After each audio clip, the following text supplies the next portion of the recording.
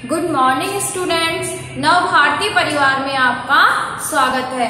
आज का टॉपिक है हमारा पाठ्यक्रम संपादन की नीतियाँ।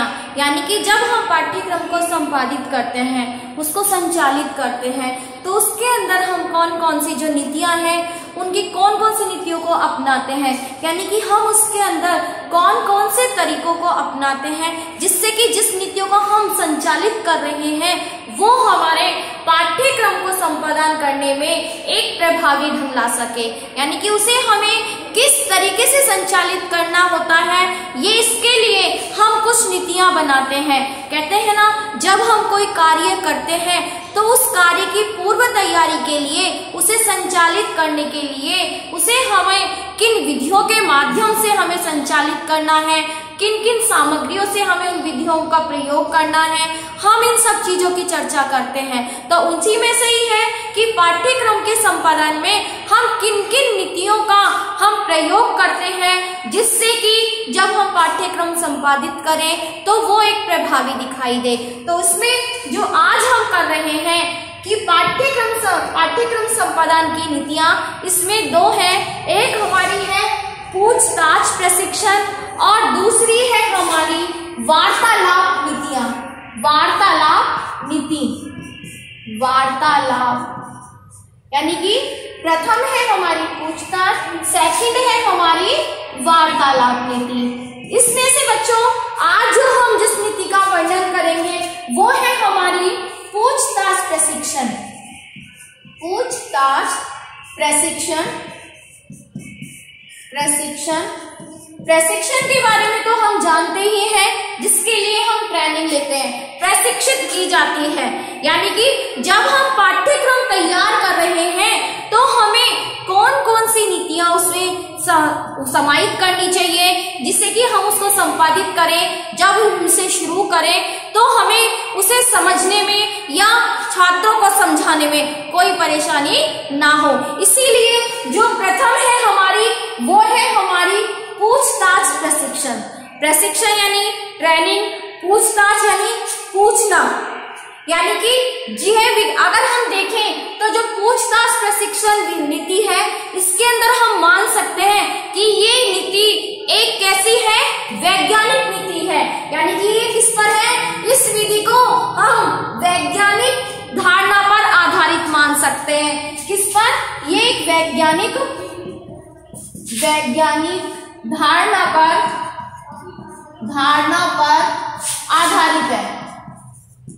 वैज्ञानिक धारणा पर आधारित है। इसके लिए हम कहते हैं कि जब छात्र विद्वतापूर्ण विद्वतापूर्ण पूछताछ के लिए हम इसमें उनको प्रशिक्षित करते हैं, छात्रों को कि वो अपनी विद्वता, जो उनका विद्वानता है, उसके अंदर जो ज्ञान है, उस ज्ञान का वो किस तरीके से प्रयोग करें, किस किस क्रम में, यानी कहते हैं ना कि कई बार ज्ञान तो बहुत होता लेकिन ज्ञान का प्रदर्शन हमें किस तरीके से करना है, वो हमें नहीं आता। तो इस पूछताछ में छात्रों को उस ढंग से तैयार किया जाता है कि शिक्षक से जब वो कुछ प्रश्न पूछे तो उन्हें किस रूप में प्रश्न पूछना है।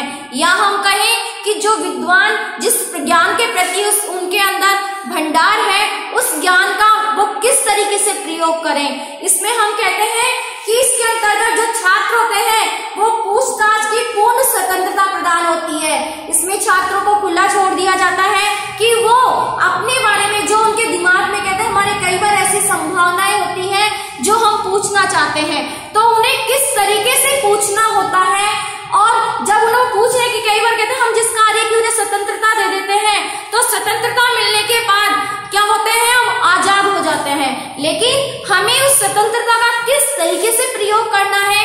यानी कि जिससे हमें खुद को भी हानि ना हो और हमारे जो सामने वाले हैं, उन्हें भी बुरा ना लगे। तो इसके लिए हम वो प्रशिक्षित किया जाता है छात्र को कि जो स्वतंत्रता आपको दी जा रही है पूछने की, वो स्वतंत्रता आप अनुशासन में रहते हुए आप उसका प्रयोग करें।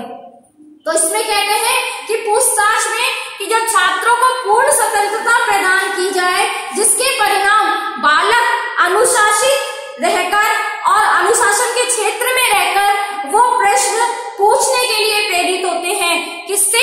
शिक्षक से। क्योंकि जब शिक्षक उन्हें पढ़ा हैं ना, जब ये ये पूछताछ प्रशिक्षण ऐसा होता है, जब शिक्षक अधिगम करवाते हैं तो उसके अंदर शिक्षक छात्र को पूर्ण स्वतंत्रता प्रदान करते हैं कि अगर आपको कहीं किसी चीज़, किसी चैप्टर में समझ में नहीं आए तो आप पूछ सकते हैं। साथ में उससे संबंधित आप प्रश्न पूछ सकते हैं। को स्वतंत्रता प्रदान कर देते हैं। लेकिन उस स्वतंत्रता का छात्र को अनुशासन में रहकर उन्हें क्या करना चाहिए? उसका प्रयोग करना चाहिए। अनुशासन में उन्हें रहना चाहिए।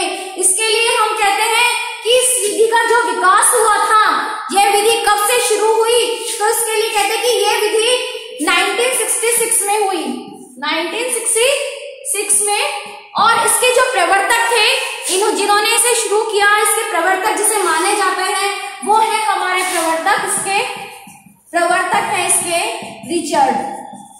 प्रवर्तक है इसके रिचर्ड। इन्होंने 1966 में ये जो पूछताछ प्रशिक्षण विधि है, इसको एक तरह से इसका विकास किया था, इसे संचालित, जिसे कहते हैं इसके प्रवर्तक माने जाते हैं, ये और कहते हैं कि ये जो पूछताछ प्रशिक्षण है, ये छात्रों के अंदर एक जिज्ञासु प्रवृत्ति उत्पन्न करती है।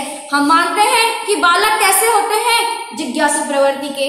और वो जिज्ञासु, जब उनके अंदर से अगर बाहर जो कहते हैं ना कि जो जिज्ञासा, जिस प्रश्न के प्रति उनकी जिज्ञासुपन होता है उनके मन के अंदर, अगर वो उसको पूछे ना तो बच्चे क्या होते हैं, उनकी जो हम कहते हैं कि बच्चों का विकास रुक जाता है अगर उनके प्रश्नों का उत्तर उन्हें नहीं मिलता है तो हम मानते हैं कि हम वही स्थिर हो जाते हैं। अगर हमें आगे बढ़ना है तो हमें क्या करना है कि जो प्रश्न हमारे बच्चों के मन में है, उन प्रश्नों का बच्चों को उत्तर देना चाहिए। तो कहते हैं कि ये वाली जो विधि है, इसके लिए बालक के स्वभाव से ये क्या होते हैं? बालक जिज्ञासु होते हैं तथा बालक अपनी जिज्ञासु शांत करने के लिए पूछताछ में क्या लेते हैं? वो आनंद लेते हैं। क्योंकि जब वो पूछते हैं प्रश्न तो उनके मन के अंदर, उनके दिमाग में नए नए प्रश्न नए नए प्रश्नों की उनकी खोज होती है और उनकी जो जिज्ञासु प्रवृत्ति है, उसका भी विकास होता है। वो नए नए प्रश्न को पूछकर और अपना जिज्ञासुपन जो है वो शांत करते हैं। यानी कि अपने मन को जब उन्हें प्रश्न का आंसर शिक्षक के द्वारा प्राप्त हो जाता है तो वो क्या कहते हैं? उनकी जो मन है, वो शांत हो जाता है। और इसमें जैसे पढ़ाने में भी और जो शिक्षक पूछ रहे हैं, उसमें भी वो अपना आनंद अनुभव करते हैं। इस पूछताछ की प्रक्रिया के लिए बालकों का क्या होता है? बौद्धिक विकास जो होता है, वो तीव्र गति से होता है। पूछताछ की प्रक्रिया से बच्चों की बौद्धिक क्षमता का विकास होता है क्योंकि वो उसी के आधार पर क्या करते हैं? शिक्षक से प्रश्न पूछते हैं। अब हम कहते हैं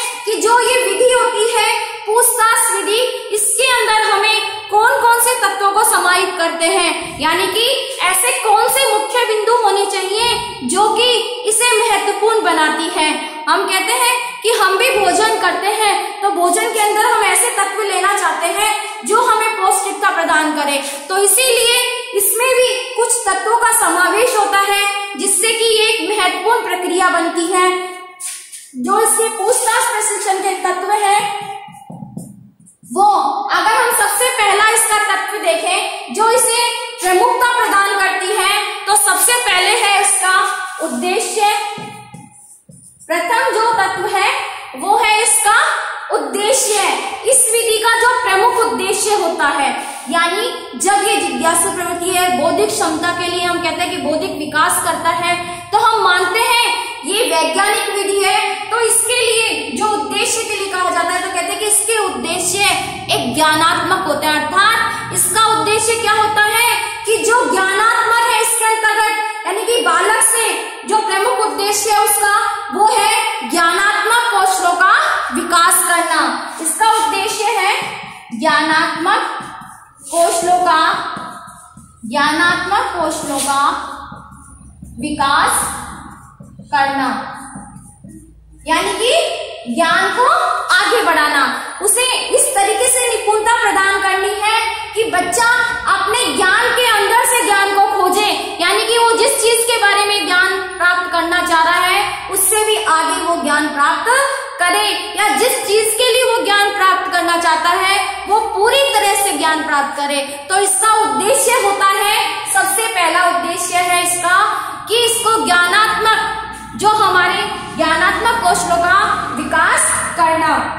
इसके लिए कहते हैं कि बालक स्वयं, जो बालक स्वयं पूछताछ के द्वारा अपने जो भी पहचान होती है, अपने ज्ञान के प्रति उसकी पहचान करता है और पहचान करने के बाद में उसे तार्किक रूप में क्या करते हैं हम? व्यवस्थित करते हैं। यानी कि वो किस आधार पर कहते हैं ना, ज्ञान को जब तक क्रमबद्ध नहीं किया जाता है वो ज्ञान अप्रभावी होता है। तो यहाँ क्या करते हैं? छात्र की जो ज्ञान उन्होंने लिया है, कहते जब ज्ञानात्मक कौशलों का उनका विकास होता है तो वो उस ज्ञान की पहचान करके, उससे संबंधित उनके प्रत्यों की पहचान करने के बाद में उसे तार्किक रूप से व्यवस्थित करते हैं, उसे व्यवस्थित करके उसकी व्याख्या करते हैं। यानी कि जिज्ञासु प्रवृत्ति जब होते हैं शिक्षक तो वो छात्र इसमें तो वो क्या करेंगे? उसके बारे में जानेंगे। और जानने के बाद वो प्रत्येक पक्ष की व्याख्या खुद करेंगे और उसके बारे में अगर वो शिक्षक से पूछना चाहते हैं तो वो उसकी एक तरीके से पूरी संपूर्ण व्याख्या के द्वारा वो समझने की कोशिश करेंगे। इसके उपयोग से बालक के जो वैज्ञानिक दृष्टिकोण होता है, उसका विकास होता है। पहले भी बताई थी कि जो पूछताछ प्रशिक्षण नीति है, ये एक वैज्ञानिक है। कहते जब ज्ञान का इसमें समावेश है, ज्ञानात्मक है ये दृष्टिकोण भी कैसा होगा? वैज्ञानिक। यानी कि जब तक बच्चे को किसी चीज़ क्या हम कहते हैं जब बच्चे को हम कई बार ऐसा होता है कि बच्चा रास्ते में चलता है, वो हमसे जो चीज़ पूछता है, जब तक हम उसे प्रत्यक्ष प्रमाण नहीं देते हैं, जब तक बच्चों की जिज्ञासा शांत नहीं होती है। तो ये जिज्ञासा प्रवृत्ति ऐसी होती है जिसके लिए वैज्ञानिक धारणा होती है। इसके अंदर जब तक हम बच्चे को तर्क प्रस्तुत नहीं करते हैं, प्रमाण नहीं देते हैं, तब तक वो उस चीज़ को नहीं मानते। तो इसके लिए कहते हैं कि ये एक वैज्ञानिक विधि के रूप में जैसे विज्ञान हमेशा प्रमाण चाहता है तो बच्चा भी यहाँ अपने ज्ञान का विकास करने के लिए उसे प्रमाण की आवश्यकता होती है। बालकों में जो जिज्ञासु अभिवृत्ति तथा उसकी अभिरुचियों का विकास होता है इसके अंदर, जिससे छात्र क्या करते हैं, अपनी कठिन से कठिन जो समस्या होती है, उसको भी आसानी से समझते हैं और सरलता से समझ जाते हैं। ये इसका उद्देश्य होता है, यानी कि बच्चों की कठिनाइयों को दूर करना, वैज्ञान, विज्ञान के आधार पर या हम कहें, ज्ञान के कौशलों का इसमें विकास होता है तो प्रथम इसका उद्देश्य होता है कि ज्ञानात्मक कौशल का विकास। इस जो पूछताछ प्रशिक्षण है, इसका तक इसके अंदर, इसको इसीलिए समाहित किया जाता है कि जो उद्देश्य होता है, छात्र को ज्ञान प्रदान करना, वो उद्देश्य की हमें पूर्ति करवाता है। अब हम कहें सेकंड है हमारी, जो सेकंड तत्व है इसका, वो है पूछताछ प्रक्रिया का विश्लेषण। पूछताछ पूछताछ प्रक्रिया का विश्लेषण। प्रक्रिया का विश्लेषण। विश्लेषण का हम अर्थ जानते हैं, यानी कि विभिन्न भागों में उसे विभाजित करना। तो यहाँ बताते हैं कि जो हमारी इसके अंतर्गत क्या करते हैं बालक की जो पूछताछ प्रक्रिया का विश्लेषण कहा जाता है, शिक्षक संपूर्ण प्रक्रिया का जो मूल्यांकन करते हैं और मूल्यांकन करने के बाद में वो उसका पुनः निरीक्षण करते हैं तथा उपयुक्त लेकर इसमें निष्कर्ष तक पहुँचते हैं।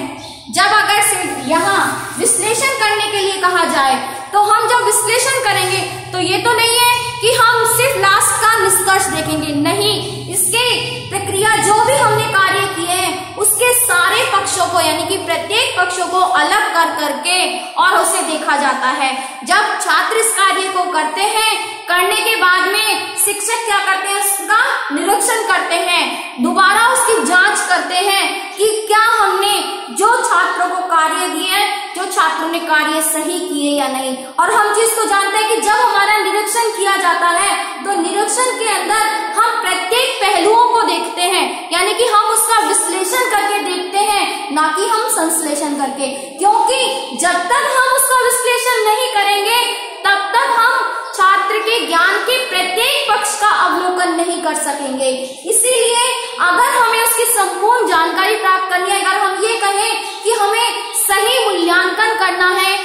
सही निष्कर्ष निकालना है तो हमें विश्लेषण की प्रक्रिया को अपनाना ही पड़ता है। क्योंकि विश्लेषण प्रक्रिया के द्वारा हम सभी पक्षों को बड़ी ईमानदारी से देख सकते हैं और उसका निष्कर्ष निकाल सकते हैं। क्योंकि कई बार हमारे कार्य ऐसे होते हैं कि कहीं किसी पक्ष में अगर कमी होती है तो हमें पुनः नियोजित करनी होती है। और अगर पुनः नियोजित करनी है तो हमें वो कमी बतानी होती है कि किस कार्य में कहा कमी रही? तो वो का जब कमी हम तभी निकाल सकते हैं, जब हम विश्लेषण कर सकते हैं। इसीलिए विश्लेषण प्रक्रिया भी इसके अंदर महत्वपूर्ण होती है। फिर आता है हमारा थर्ड इसके अंदर सामाजिक प्रणाली। सामाजिक प्रणाली। सामाजिक प्रणाली। इसके अंदर कहा जाता है कि शिक्षक और छात्र दोनों के अंदर जो अंतर संबंध, या हम कहें कि कक्षा कक्ष प्रणाली, जिसे कक्षा में जो कार्य होते हैं, उससे संबंधित क्रियाएँ होती हैं। जिसे कहें हम शिक्षक और शिक्षार्थी के बीच में कक्षागत होने वाले प्रणाली या कक्षागत होने वाले कार्य। इनके आधार पर कहते हैं शिक्षक और छात्र एक दूसरे से जुड़ते हैं। यानी कि छात्र ये चाहते हैं कि शिक्षक हमें अच्छे से अच्छा ज्ञान दे। और शिक्षक ये चाहते हैं कि छात्र जो शिक्षक के द्वारा जो ज्ञान दिया जा रहा है, उस ज्ञान को पूर्ण रूप से बच्चा ग्रहण करे। यहाँ वो एक दूसरे के, जैसे कहते हैं ना, उनका एक समाज हो जाता है शिक्षक का और शिक्षार्थी का। यानी कि शिक्षा का समाज, जिसे वो एक दूसरे को जोड़ना चाहते हैं। तो वो सामाजिक प्रणाली और सामाजिकरण करना चाहते हैं कि शिक्षक और शिक्षार्थी दोनों जो ज्ञान दिया जा रहा है, उसे लेने में और जो शिक्षक के द्वारा जो ज्ञान दिया जा रहा है, उसमें अपनी पूर्ण रुचि दिखाई दे इंटरेस्ट जागृत करे। इस जो ये शिक्षक है, इस विधि में क्या करते हैं, अपना नेतृत्व प्रदान करते हैं। नेतृत्व प्रदान करने के बाद बालकों में पूछताछ के लिए प्रेरित करते हैं, क्योंकि वो कितनी इंटरेस्ट ले रहे हैं बच्चे। जो अधिगम शिक्षक करवा रहे हैं, उसका हमें तभी पता चल सकता है जबकि शिक्षक छात्र से प्रश्न पूछे। शिक्षक उनसे पूछताछ करे कि मैंने कहा पढ़ाया, क्या पढ़ाया है। यानी कि बीच बीच में उनसे पूछताछ करते रहना चाहिए कि बच्चों ने जो शिक्षक ने पढ़ाया, उस ज्ञान को कहाँ तक ग्रहण किया। तो बालकों के लिए जो पूछताछ के लिए प्रेरित करना सामाजिक प्रणाली अनिवार्य होती है। और जो हमारे प्राप्त हमारे निष्कर्ष है और जो परीक्षण के लिए हम अवसर प्रदान करते हैं, उसके लिए भी हमारे सामाजिक प्रधान प्रदान है। क्योंकि सामाजिक प्रणाली पर हमें पता चलता है कि कौन सा छात्र किस कार्य में इंटरेस्ट ले रहा है या छात्र कितना वो कार्य कर सकता है? हम कहते हैं, हम निष्कर्ष जो निकालते हैं कि हमें कितना, हम उस परीक्षण को उनका अवसर प्रदान करते हैं कि छात्र, कौन से छात्र को हमें कौन सा कार्य सौंपना चाहिए। इससे हमें हमारे कार्य का अवसर मिलता है और छात्रों को करने का अवसर मिलता है। इस विधि में बालक तथा शिक्षक दोनों की महत्वपूर्ण भूमिका होती है। मैंने पहले बताया, यानी शिक्षक भी चाहते हैं कि छात्र जो ज्ञान दिए जा रहा है, उन्हें अच्छे से ग्रहण करें। और छात्र ये चाहते हैं कि हमें जो ज्ञान प्रदान किया जा रहा है, वो ज्ञान हमें ऐसा हो जो हम उसमें रुचि ले या हमारे भविष्य में काम आए। फिर आता है हमारा मूल्यांकन प्रणाली। लास्ट है हमारा मूल्यांकन प्रणाली। प्रथम था हमारा उद्देश्य सेकंड था हमारी पूछताछ प्रक्रिया। थर्ड था हमारा सामाजिक प्रणाली और फोर्थ है हमारी मूल्यांकन प्रणाली। मूल्यांकन में क्या होता है? इस विधि के अंतर्गत मूल्यांकन के लिए क्या हम क्या करते हैं? प्रयोगात्मक जो हमारे प्रयोग करके प्रयोगात्मक परीक्षाओं का प्रयोग किया जाता है और इससे ज्ञान होता है कि बालक की जो समस्या का समाधान किस तरीके से किया जाता है? या समस्या का जो समस्या समाधान के द्वारा अपने कार्य को कितने तथा किस सीमा तक प्रभावित करते हैं? हम कहते हैं कि निष्कर्ष में क्या निकलता है? मूल्यांकन में हम क्या करते हैं? ऑल ओवर पूरा मूल्यांकन करता है। निष्कर्ष निकालता तो हमें इसमें क्या पता चलता है? इसमें पता चलता है हमें कि किस तरीके से हम इस विधि के अंदर के हमने कौन कौन से प्रयोग क्योंकि मूल्यांकन हम कर, कब करेंगे? जब वो कार्य को कर चुका होगा। तो हम यहाँ पर किए हुए प्रयोगों को देखते हैं और फिर हम निष्कर्ष निकालते हैं कि हम उसका मूल्यांकन करते हैं कि बच्चे को जो सिखाया, जो बच्चों ने कितना कार्य किया, कहाँ तक किया, किसने समय में किया, किस सीमा तक कहते हैं ना कि टारगेट जो होता है कि कितना हम कहें कि बच्चे ने जो ज्ञान प्राप्त किया, वो हंड्रेड परसेंट किया फिफ्टी परसेंट किया, जिस चीज़ के बारे में हम उन्हें ज्ञान प्रदान कर रहे हैं। उस ज्ञान को उन्होंने कहाँ तक प्राप्त किया, ये हम देखते हैं। तो इसके लिए कहते हैं कि जब तक हम बच्चों का प्रयोग करके, ये जो मूल्यांकन हम ज्ञात करेंगे, वो कब करेंगे? हम बच्चों का प्रयोग करके। बच्चों को प्रयोगात्मक कार्य देकर हम ये देखेंगे कि बच्चों ने हमारे जो उद्देश्य उनको कहाँ तक पूर्ण किया। ये इस प्रणाली के जो चार तत्व हैं, इन तत्वों का इसमें समायोजन होता है। कि क्यों? इन तत्वों के बिना ये जो प्रणाली है, वो अधूरी होती है। मैंने बताया कि जो हमारी पाठ्यक्रम संपादन की नीतियाँ हैं, उनके अंदर मैंने आज आपको सबसे पहले पढ़ाई है पूछताछ प्रशिक्षण। तो पूछताछ प्रशिक्षण का हम निष्कर्ष निकाल सकते हैं कि किसी भी बिंदु का जब हम हम इसको कहते हैं इसका मूल्यांकन, इसका हम करें पूछताछ प्रशिक्षण का के लिए हम निकाले कि पूछताछ प्रशिक्षण जो होता है, वो हम छात्र की जिज्ञासु प्रवृत्ति को आगे विकसित करने के लिए ये एक महत्वपूर्ण प्रवृत्ति है। ये एक वैज्ञानिक विधि है, जिसके द्वारा बच्चे इसमें इंटरेस्ट लेते हैं। अब हमारी जो नेक्स्ट विधि होगी, वो होगी वार्तालाप विधि, जो मैं नेक्स्ट वीडियो में आपको पढ़ाऊँगी। धन्यवाद।